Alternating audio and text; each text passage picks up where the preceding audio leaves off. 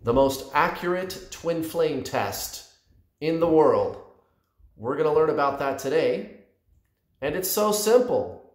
You and your twin flame are the same soul, right? Everybody knows that. Okay, you have to go in here to where the soul is. And when you do, your twin flame shows up so fast, it'll make your head spin.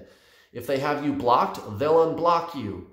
If they were rejecting you, they're going to start chasing you now. And you're going to feel it. You're going to feel a soul experience. There's a word for it. It's called samadhi. Okay, or more specific, satori. It's an experience of soul. And I'm going to explain exactly what that is, or at least I'm going to try to, right? And there's actually kind of a problem with the attempting to explain it, okay? And that'll make more sense to you uh, by the time we're done with this video because an explanation is a thought, right? That's the mind. And I'm not saying that's bad.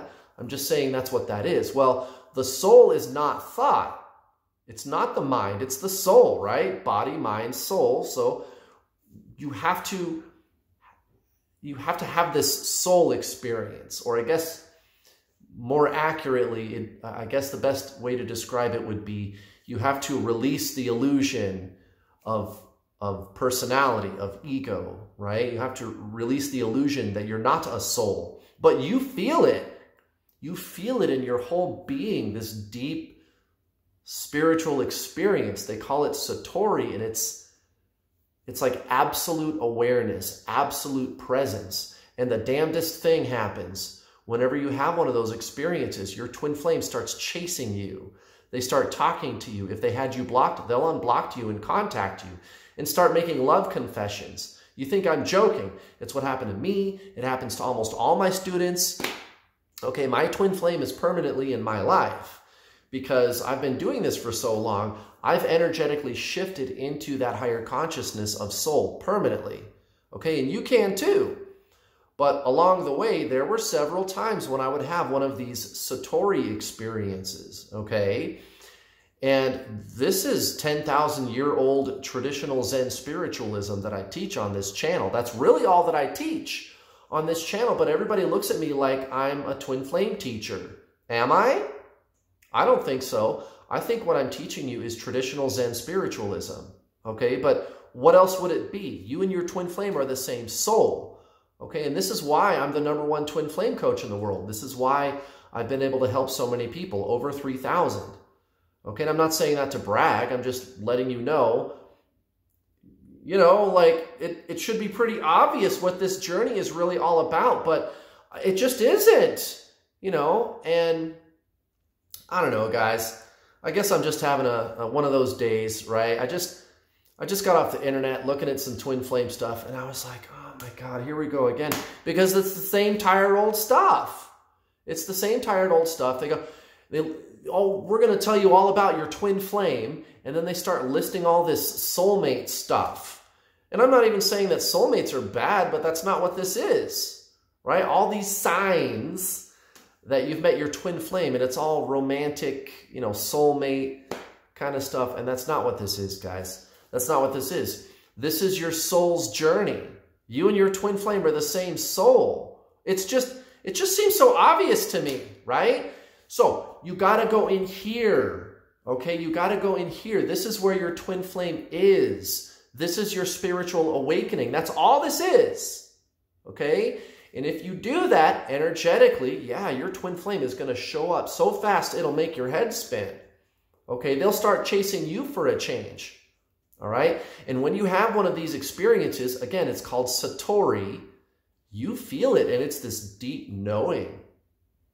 It's this place of deep inner peace and Zen. And it's not something that you can acquire. Okay, your body, mind, soul. Right? Now, the mind is what thinks it can acquire a thing like Satori. Okay, or a lifestyle such as samadhi, right? I, I, I think what you would call samadhi, right? And to even describe it to you is a paradox. It's an oxymoron because a description is a thought. Okay, and I'm not saying that's bad, that's just what that is. But the soul is not thought. It's consciousness, it's being, and that's what your twin flame is. You got to go in here. Okay? The mind is externalized. It's always looking to the outside. It's always saying, I'm here, you're over there, and I have to acquire that thing or that person or that experience. And you can't really acquire Satori or Samadhi. You can't even really talk about it technically. Already I'm doing it wrong just by saying that there is such a thing as Samadhi, you're already doing it wrong. Okay? That's the level that we're on here, guys. All right? And the quickest way for you to do that is actually to detox from the addictive energy of the person for a while. Okay?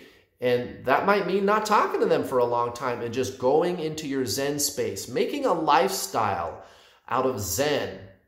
Okay? Really embracing that, having these inward experiences. Learn about who you really are. Read The Power of Now by Eckhart Tolle. That's a good place to start. You could also read Wherever You Go, There You Are. That's another really great book. And the author's name is Jon Kabat-Zinn, J-O-N, Kabat-Zinn, K-A-B-A-T. Jon Kabat-Zinn, Wherever You Go, There You Are, and The Power of Now by Eckhart Tolle. I have, I have my students read both of those books and lots of other books too. But that's a good place to start. You could go watch my free content. I have the playlist on my channel called How to Get Your Twin Flame. Just go find that playlist. How to Get Your Twin Flame. Go check that out. Right? Learn about soul stuff, what I call soul stuff, okay? This is your spiritual awakening and you just need to treat it that way. And you need to create the space in your life situation for Zen every day. You got to go in here and quiet the mind.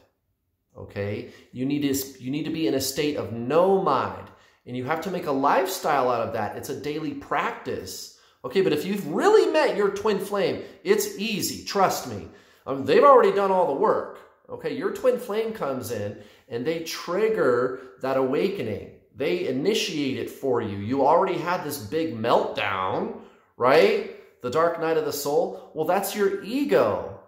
That's your personality melting away, breaking away. It's energy breaking loose so that the energy of consciousness can come out even further. And remember, the soul is consciousness. That's what the that's what your twin flame is. Okay, so it's already been initiated. You just have to embrace that. Go deep into your Zen space. That's really all it is, guys. There's no steps and stages. There's nothing that you need to do with the physical person. As a matter of fact, if you kind of just detoxify yourself from them for a while, you'll speed things up. I, I tell all my students to ghost, block, and delete their twin flame for a while, you know, like several months, whatever. Just get out of their energy and go into your Zen space. Or if they've got you blocked, then just don't worry about it. Just live your life and stop, stop worrying about this person. And remember, it's not really you that worries about the person. It's the mind that is worried about the person. You are not your mind. Okay? Body, mind, soul. You're the soul. You're the conscious being. Okay? Now, when you embrace this as a lifestyle, you will start to feel changes. You will. You'll start having these deeper breakthroughs. You'll experience, again, it's called Satori. Okay? And when you have a Satori experience, you feel blanketed by Zen, by this bliss. It's just, it's just intense peace and, and joy and, and true love, Zen love, inner peace, stillness, okay?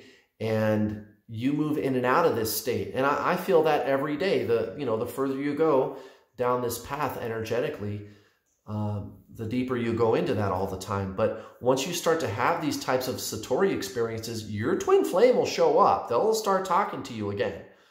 Okay, and you're not going to need anything else. You're not going to need 22 little signs and here's a bunch of tests you can do and here's all the stages you got to go through and you know, that's looking at the other person like, oh, let's see how we're compatible in all these ways. Guys, that's soulmates. Okay, that's not what this is. That's not what this is, okay? You will get a response from the person. They will start talking to you, but it's only when you go in here, you take all your focus off the other person, off the physical person, right? Off the physical twin flame person, and you go in here and have those kind of inward experiences. Guys, that's all you need to do. That's all you need to do. You don't actually need the other person to tell if they are your twin flame. That's what's so ironic about this. You go in here and you feel it. You feel it energetically. You have these deeper awakening experiences. That's all there is to it, guys. And your twin flame will start chasing you. That's the most effective twin flame test. Okay, that's the number one twin flame test right there. Because you and your twin flame are the same soul. You got to go where your soul is, guys. It's so simple. Thank you very much for watching. Please don't forget to hit like and subscribe and hit the bell notification icon button so that you can get notifications whenever I post one of my videos. I hope you guys have a wonderful rest of your week. See you later.